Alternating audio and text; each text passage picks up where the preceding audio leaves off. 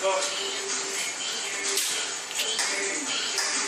Ganda na pala ako. Ayaw kasi yung mga walang gol eh. Tuwa na ngayon. 3.9 IFM. Siyempre, yung bago mong abangan tuwing umaga, isa ka butit lang. Eh, wag natin patagalin to. Umpisa na natin!